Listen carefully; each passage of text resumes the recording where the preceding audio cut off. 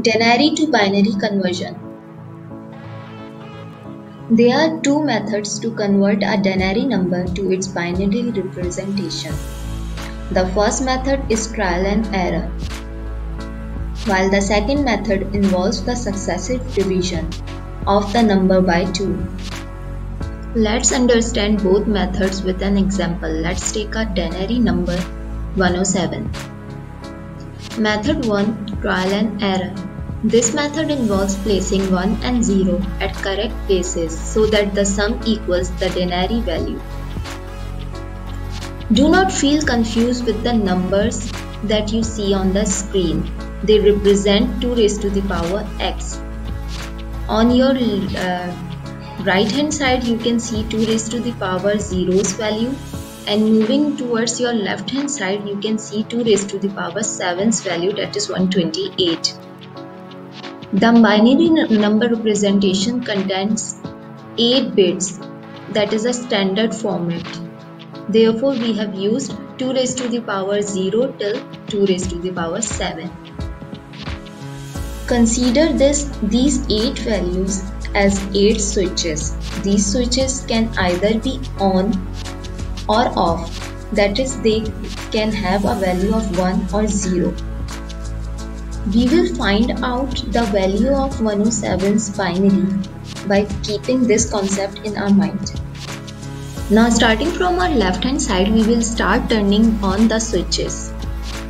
We have seen the switch 128. The value is greater than 107 so this switch needs to be off. Then we move to 64 the value is less than 107 so we will turn on the switch. Then we will move forward to 32. 64 plus 32 makes 96 which is still less than 107 so we will turn on 32.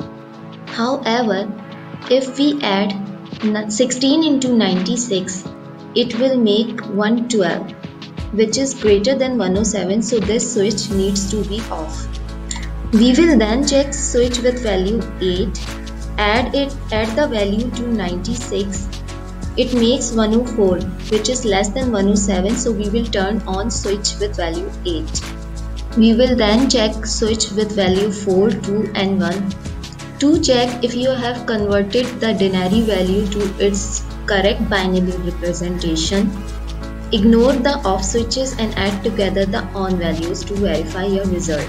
64 plus 32 plus 8 plus 2 plus 1 gives you 107 which means you have converted it the correct way.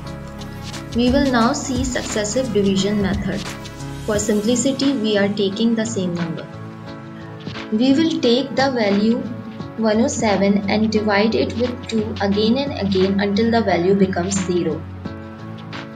We divided 107 by 2, it gave us the 53 and remainder 1. 53 divided by 2 gave us 26 and remainder 1. 26 divided by 2 gave us 13 and remainder 0.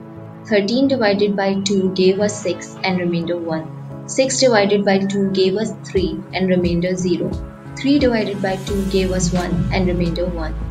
1 divided by 2 gave us 0 and remainder 1. Now to find out the binary representation, read remainders from bottom to up. Reading remainder from bottom to up gives us 1101011 which is 7 bits. To make it an 8-bit number, we will add 0 on the left hand side.